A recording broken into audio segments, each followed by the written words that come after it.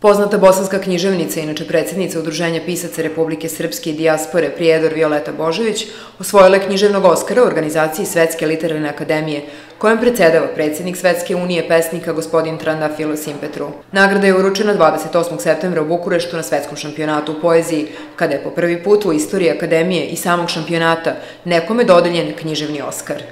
Božović je bila specijalni gost i na završnoj večeri manifestacije Stiška svitanja u Malom Crniću, gde se je obratila prisutnim gostima i istakla da se bolje izražava poezijom nego što drži govore, pa je publici poklonila i stihove jedne svoje pesme.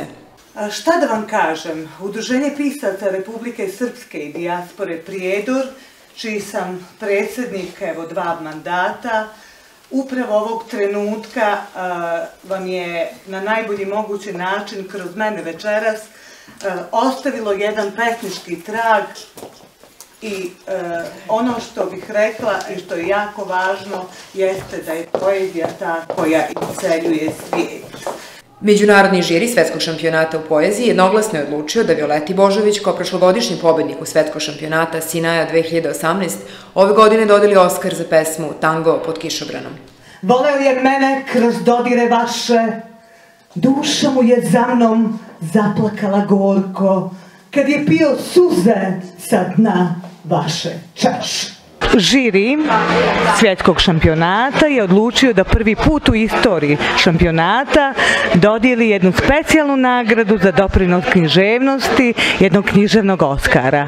Većali su između tri zemlje, ja imam informaciju da je to bila moja Bosna i Hercegovina, to je Republika Srpska, da je bila Italija i da je bio uh, predstavnik iz Tunisa koji je bio u najužem izboru za književnog Oskara uh, svjetskog šampionata Bukurešt 2019.